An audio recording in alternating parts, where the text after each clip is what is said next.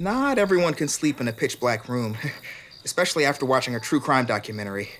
If you need a nightlight, Alexa, open nightlight. The light ring on these devices will gently glow. Alexa, can you turn on the light in the bathroom just in case? That's better.